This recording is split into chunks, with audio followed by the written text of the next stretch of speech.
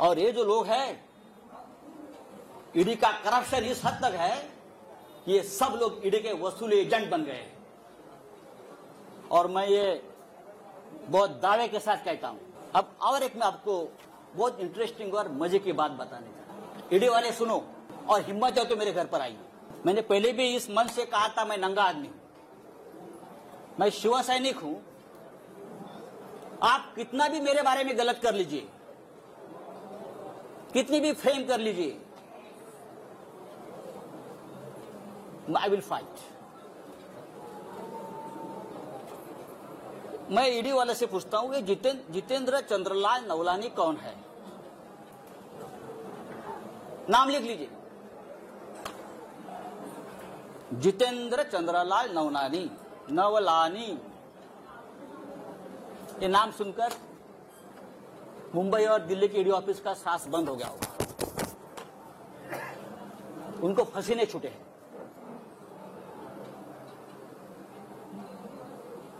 चार महीने से मुंबई के जो बिल्डर्स है बड़े बड़े उनसे वसूली चल रही है ईडी के नाम पर। मुंबई के सत्तर बिल्डर,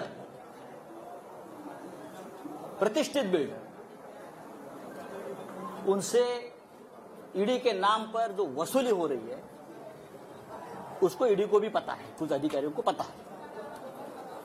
ये कौन है? ये किसके लोग हैं?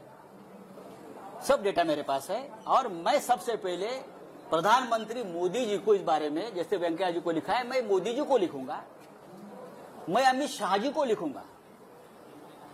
बाद में जानकारी यही जगह से आपको दूँगा।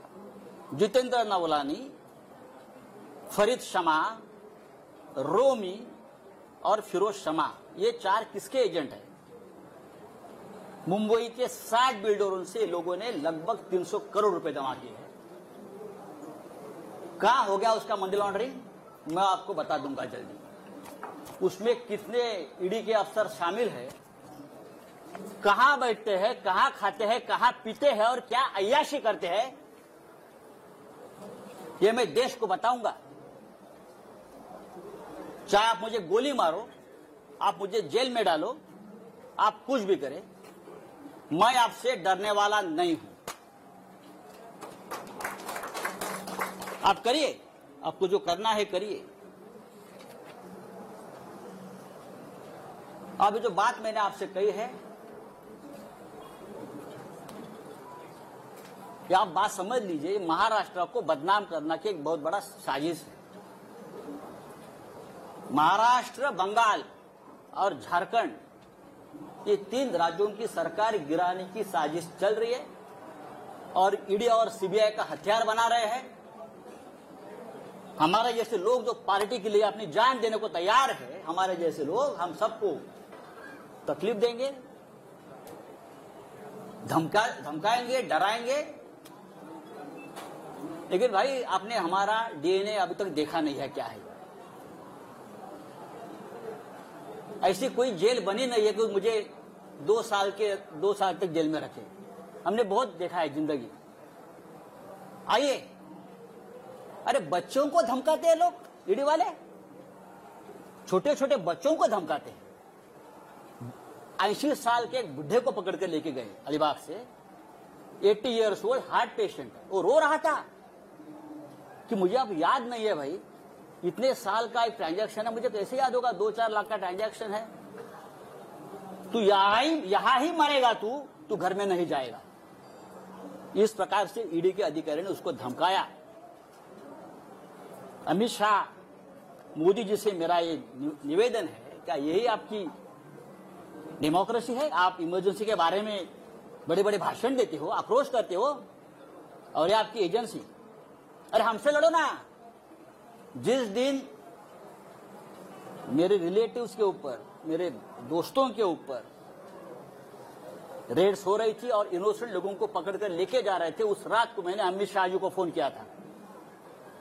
उस रात को मैंने अमित शाह जी को फ़ोन किया था। मैंने कहा कि, अमित शाह जी मैं आपका बहुत रिस्पेक्ट करता हूँ। आप बड़े नेता है, आप देश के गृह मंत्री है, लेकिन ये जो चल रहा है, ये ठीक नहीं है। अगर आपकी मुझसे दुश्मनी है तो आप मुझे अरेस्ट करिए। मैं तैयार हूँ।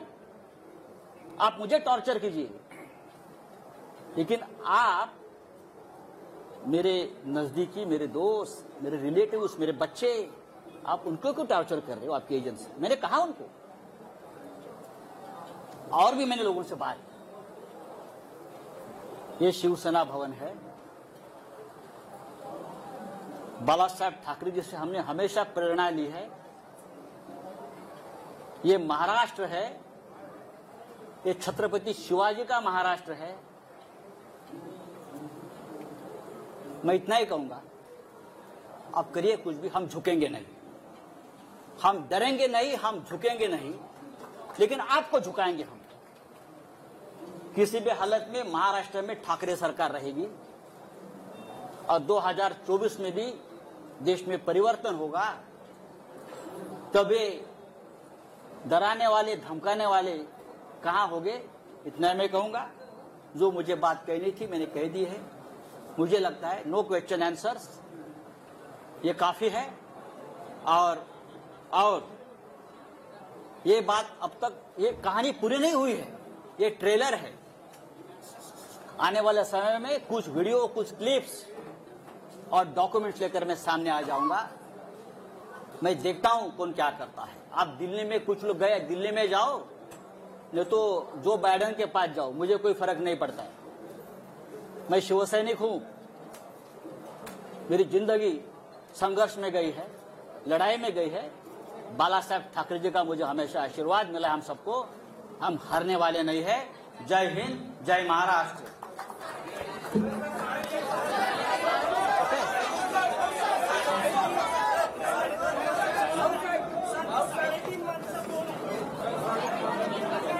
काय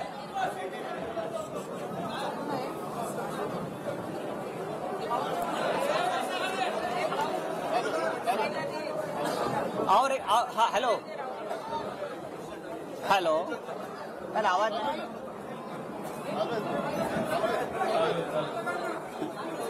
देवेंद्र फडणवीस जी का और एक फ्रंटमैन है, जिसका नाम मोहित कंबोज। मोहित कंबोज। फडणवीस साहब का आजकल वो बहुत ब्लू एंड बॉय है, ऐसा मुझे कहा, मैं तो पहचानता नहीं।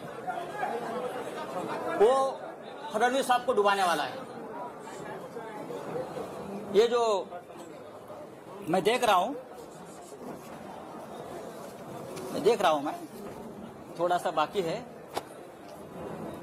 ये जो पत्राचाल वाला इशू निकाला है ना, ये पत्राचाल की ज़मीन खरीदने वाला है मोहित कंबोज है। सबसे बड़ा घोटाला और उसमें भी पीएमसी बैंक का पैसा लगा है। पीएमसी बैंक को डुबाने वाला वहाँ का करप्शन का पैसा ये पत्राचाल में लगा है और मोहित कंबोज का वहाँ एक द लग्जर कंस्ट्रक्शन प्रोजेक्ट बन रहा है पत्राचाल पे। और हम पे उंगली दिखा रहे दूसरी बात है कि और एक है सॉरी उसके बारे में मैं और बता दूँगा। कागज़ कहाँ गया? और एक कागज़ था उसका। हाँ। आ, राकेश वाधवान जो मैंने नाम लिया था। राकेश वाधवान। उसके पास से ये मोहित कंबोज के केबीजी ग्रुप ने one lakh sixty five thousand eight square meter की जगह में चालीस एकड़ क्षेत्र में से four five five seven one one five square meter जिसकी कीमत है बारह हज़ार करोड़ मोहित कंबोज ने खरीद लिया कितने में खरीद लिया? सौ करोड़ में सिर्फ़। कैसे? किसका पैसा है? और लोग बोलते हैं, ये हमारे फडणवीस साहब का ब्लू आइड बॉय है। ब्लू आइड बॉय है। ये Kamboj bio farming private limited KBG ventures Ironman real estate Tirth experience private limited KBG hotels शिवाबी hotel, silver stick film company Kaal Bhairav ventures, Naps media solutions PM reality Kaal Bhairav उसमें किसका पैसा, कहाँ से आया है? फडणवीस साहब, सिर्फ़ आपको ही मालूम है। धन्यवाद।